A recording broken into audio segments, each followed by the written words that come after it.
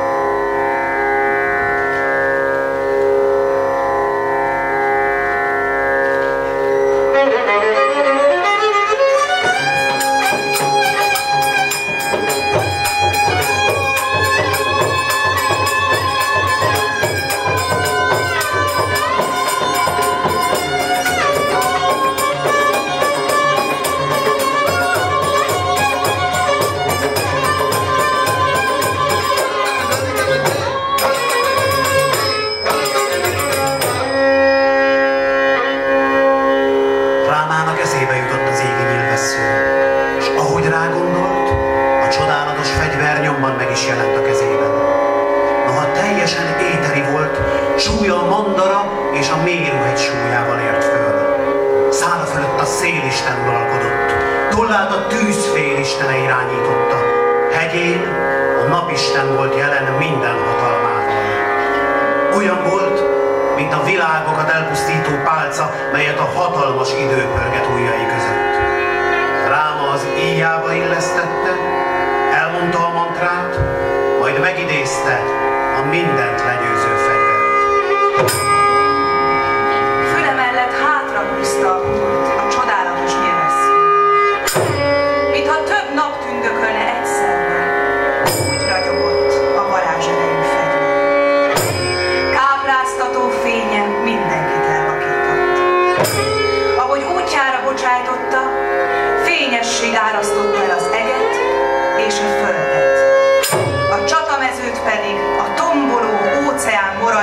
Morajlásához hasonló félelmetes hang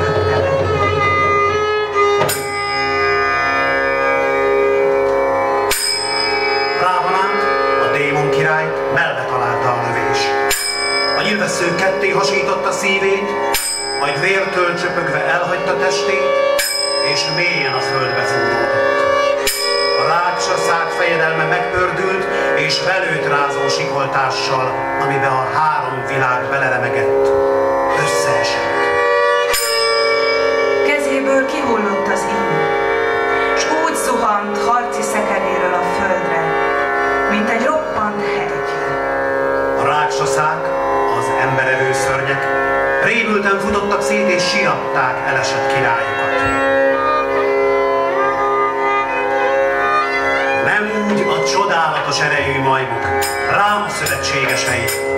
Örömükben megkergették a menekülő démonokat, hatalmasakat ugrattak a levegőbe, és diadalitta sordításukkal visszhangzott a harcmezőn.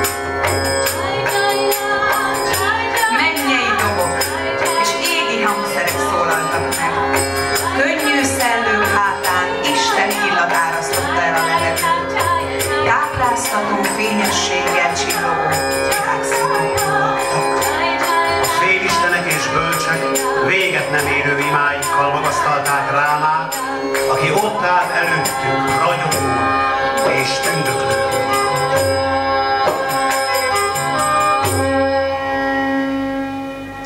Vibísan, a démon király száműzött jámbor öccse, Ráma szövetségese, holtan heverő bátyjára nézett. Ó, Rávana, utolért a végzet, amit megjósoltam neked. Miért nem hallgattál szavamra? A kéj, a mohóság és a dű szolgálója lettél, és elnyerted jutalmad.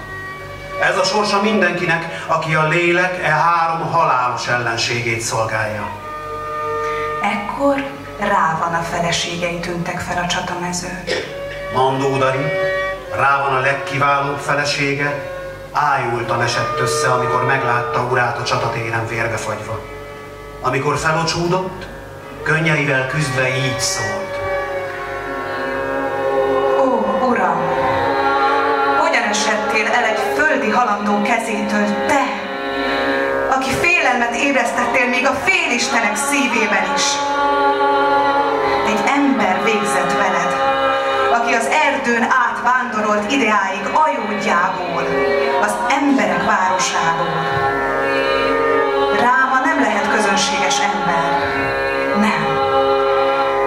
Lehet más, mint Visnu, minden világok fenntartója, a megszületetlen, mindenható legfelsőbb személy. Senki más nem tudott volna megölni.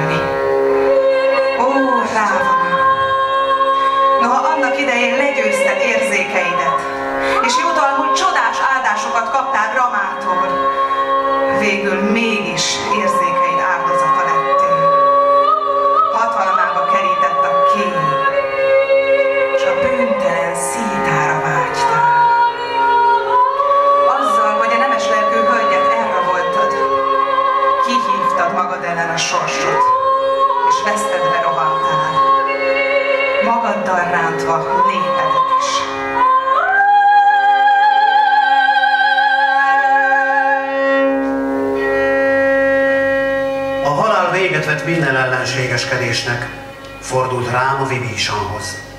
Kérlek, végezd el a szertartást, ami örök lelki áldásban részesíti majd fivéredet. Az ősi törvények szerint az elesett ellenfélnek meg kell adni minden tisztességet. Vibísan elgondolkodva állt. Hogyan tudnám őszinte szívvel elvégezni a gyászszertartást? Rávanak kegyetlen volt, és megszámlálhatatlan bűn szárad a lelkén. A fivérem, mégsem él bennem egy parányi tisztelet sem iránta. Ráma mosolyogva felelte. Vibísan,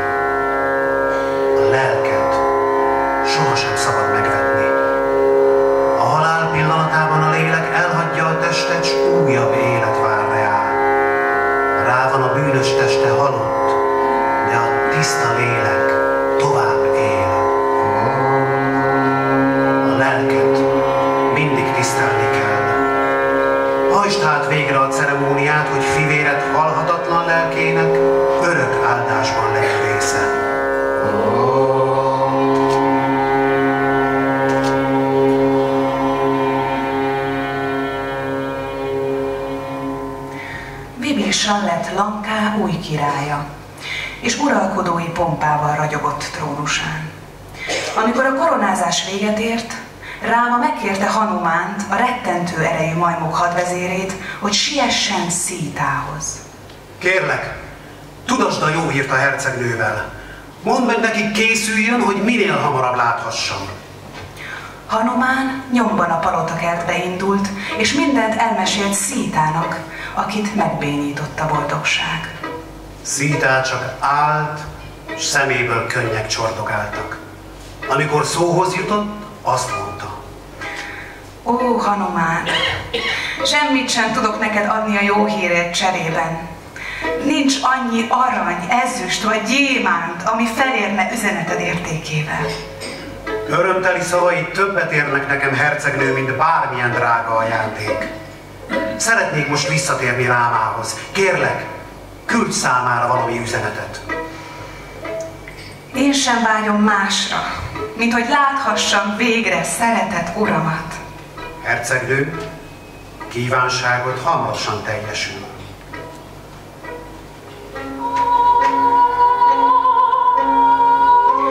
Hanumán visszament Vibésan palotájába, ahol Ráma végighallgatta, és aztán megkérte Vibésant, adasson Szítának mennyei ruhákat és.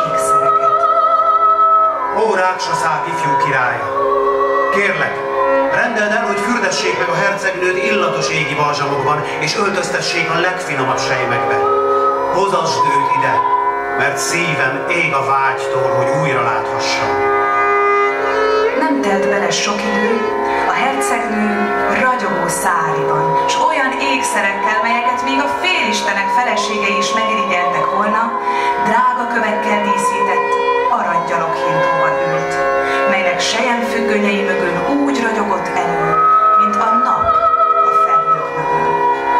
Vidésan előre sietett, hogy jelentse Rámának, a gyaloghintó már közel jár hitvesével.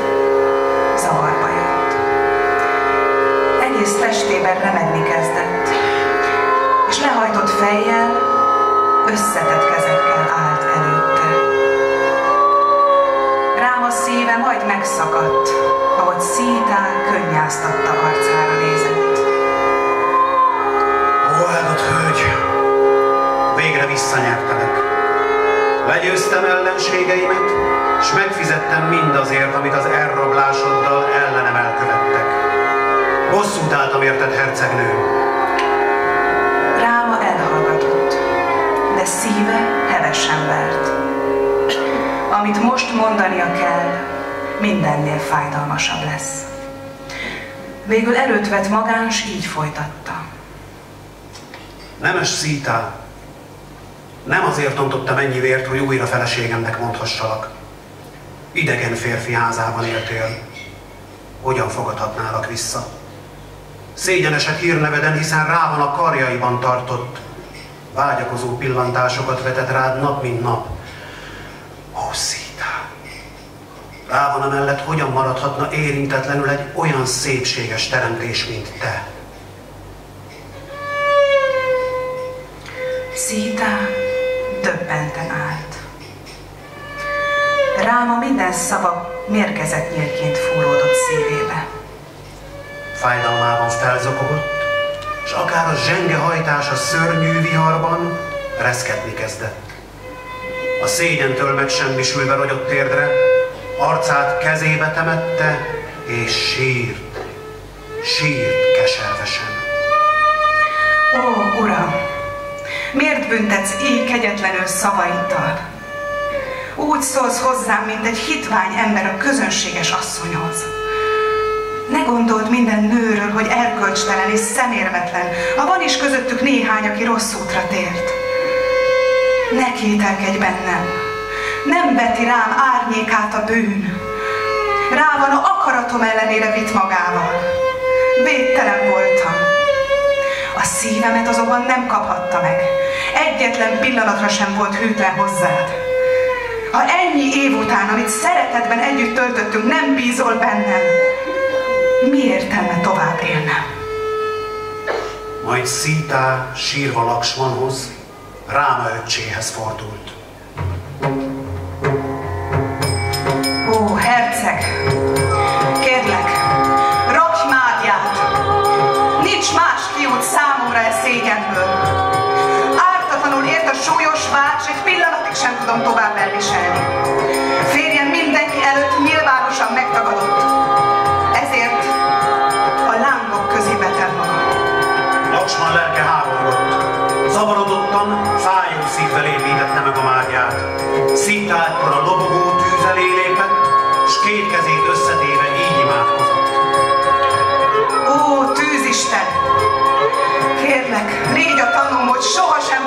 Voltam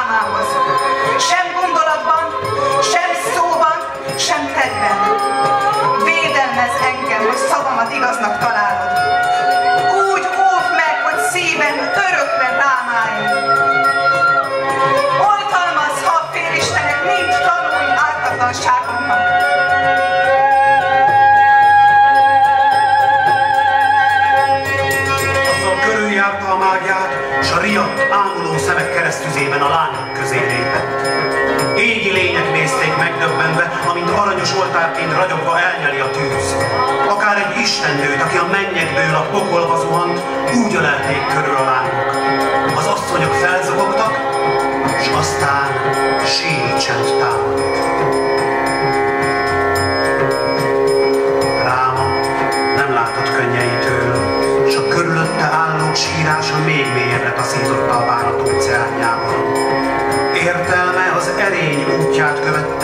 Követte, de szíve majd meghasadt a fájdalomtól, amikor szítá a tűz martaléka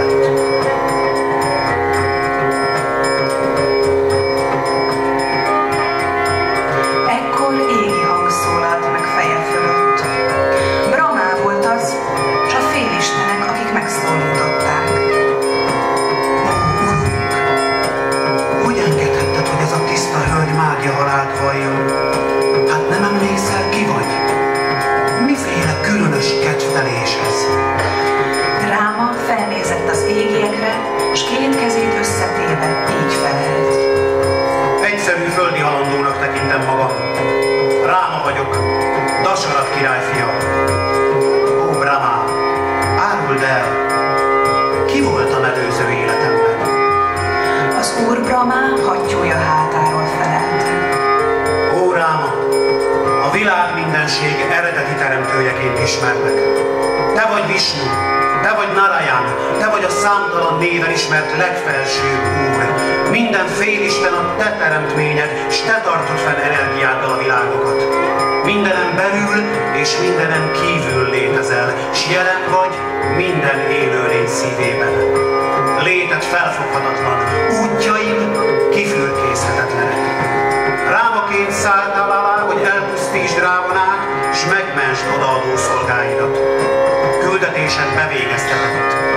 Térj hát vissza birodalmadba. az úr Brahma, és Ráma némán fejet hajtott előtte. Ebben a pillanatban a lángokból Agni, a tűz fénylő istensége emelkedett ki szintával. A hercegnő testét gyönyörű vörös szári fette, s úgy ragyogott, mint a felkelő nap. Agni Ráma elé kísérte Szítát, s így szólt. Visszahoztam, mint vesedett. Lelke tiszta, a bűn leghalványabb árnya nélkül. Egyetlen szavával, egyetlen tettével, gondolatával vagy pillantásával sem volt hűtlen hozzád soha. Noha sokáig sínlődött rában a fogságában, szíve és gondolata egyedül tiéd volt. Fogad vissza teljes szívedből.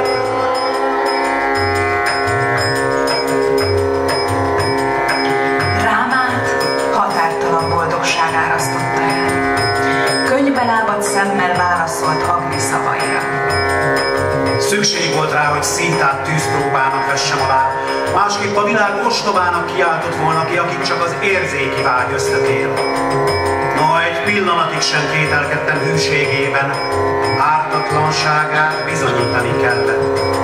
Tudtam, hogy tisztaságának ereje megvédi, s Rávana nem szennyezhette be. Ahogy a napsugarat nem választhatja el senki a naptól, szítát sem veheti el tőlem senki. Szítát határtalan boldogság töltötte el, ahogy Ráma újra maga mellé ültette. Félistenek és bölcsek jöttek el, hogy himnuszaikkal magasztalják a hős Rámát. Az úr síva személyesen járult eléjük, s így szólt. Megszabadítottad retteget zsarnokától a világot. Térj most haza hajódjába. Vigasztad meg bánatos rokonaidat, és aztán hosszú ideig uralkodj még békével birodalmat fölött. Ráma alig várta már, hogy ajódjába indulhasson. Anyja és öccse barat jártak a fejében. Mennyire várhatják már, hogy láthassák? Letelt a számüzet és 14 éve, és ő megígérte nekik, hogy nyomban hazatér. Ha nem lesz ott hamar, elemészti őket a bánat, s belehalnak az aggodalomba. Már épp indulni készültek, amikor Hanumán és Szugríva, a rettentő erejű majmokként inkarnálódott félistenek királya szaladt oda hozzájuk. Ó, Rám! mondta Szugríva könyörögve. Hadd menjenek veled majom katonáid. Annyira szeretnék látni, amit királyjá koronáznak. Ráma elmosolyodott, és intett nekik, hogy szálljanak föl a csodás puspakára, a repülő aranyvárosra. A puspaka a levegőbe emelkedett, és kecsesen szelte a levegőt, mintha csak az orrát díszítő, kitárt szárnyú hattyú húzná.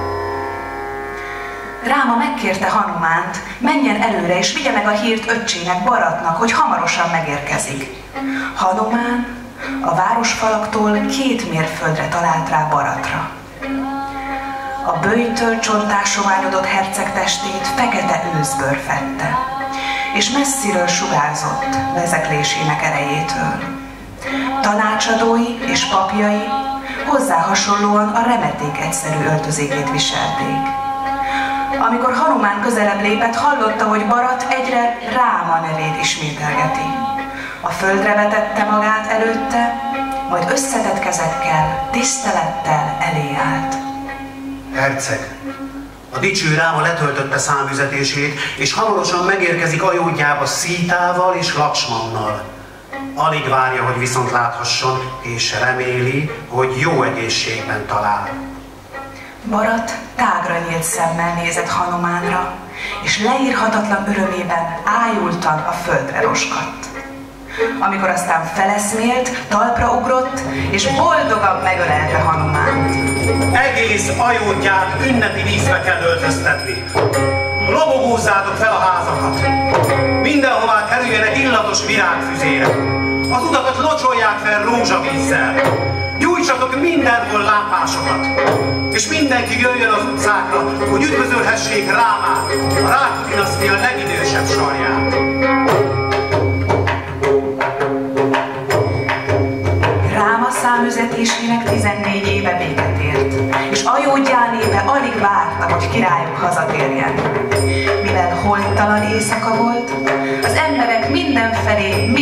Raktak ki az ablakokba, hogy segítsék Ráma és Szítá hazatértét. Estére minden talpalatnyi helyen emberek tolongtak szívükben a vágyjal, hogy megpillanthassák Rámát. Napnyugta után már több mécses pislágolt ajódjá szerte, mint ahány csillag ragyogott az égen. Barat mozdulatlanul állt, arccal délnek, és a messzeséget kémlelte. Vajon igazat mondott a majom hadvezér? Valóban hazatér rám? Mikor ér végre ide? Újra meg újra kikérdezte Hanumánt, aki újra meg újra megerősítette, amit mondott. A távolban aztán hirtelen feltűnt a ragyogó puspaka. Olyan fényesen, mintha a nap és a hold együtt tündökölne az égen. Hanumán nagyot ugrott, és a magasba mutatva felkiáltott. Itt jön a dicső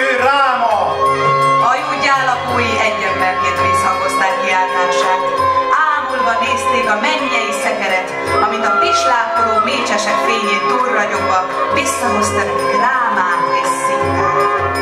Marat földre vetette magát, s teljes testével elnyúlva ajánlotta hódolatát. Vedd vissza a királyságot, ó Ráma, melyre a nevedben eddig én vigyáztam. Mégis érdemes volt élnem, hiszen leghőbb vágyam teljesült ma, ismét ajúdját trónján láthatlak. Kérlek, vedd át a világ feletti uralmat. Amíg számüzetésed töltötted, én kormányoztam helyetted az országot, de most, hogy itt vagy, épp úgy nem lennék rá többé képes, ahogy egy szál gyerkesen világíthat, amikor süt a nap. Hadd lássa a világ kápráztató fényedet, amint ajódját trónján ülsz. Ez az egyetlen vágyunk. Ráma Barat odaadásától meghatva válaszolt. Úgy legyen.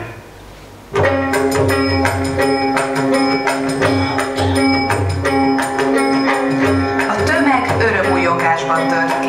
Az udvari borbélyok levágták rám a csomókba tapadt gubancos haját. A szolgák illatos balzsammal dörzsölték be fáradt testét, megfürdették, drága sejemruhákba öltöztették, és ragyogó aranyékszerekkel díszítették. Nyakába illatos virágfüzéreket akasztottak, homlokára hűsítő szantárképpel gyönyörű, áldást hozó ábrákat rajzoltak. Ráma mindenkire rámosolygott, és a kezét áldásra emelte. A brámonár fejére helyezték a napként üldöklő koronát, rám szemkápráztató ragyogással ült drága köves trónján, oldalán a felékesített szítával, akinek szépsége még inkább emelte a királyi pompát, amely a föld uralkodóját körülvette. Ajudjá odaadó népe boldogságában szűnni nem akaró örömkiáltásokkal dicsőítette urát és hitvesét, és hangjuk messze visszhangzott a városról.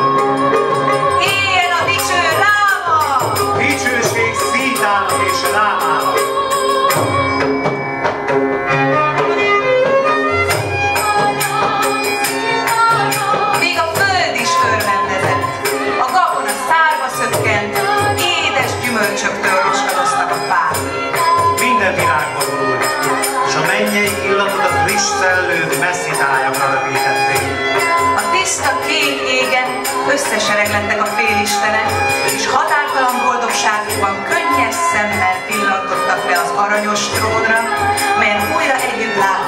Nemes szítát és a dicső rámát.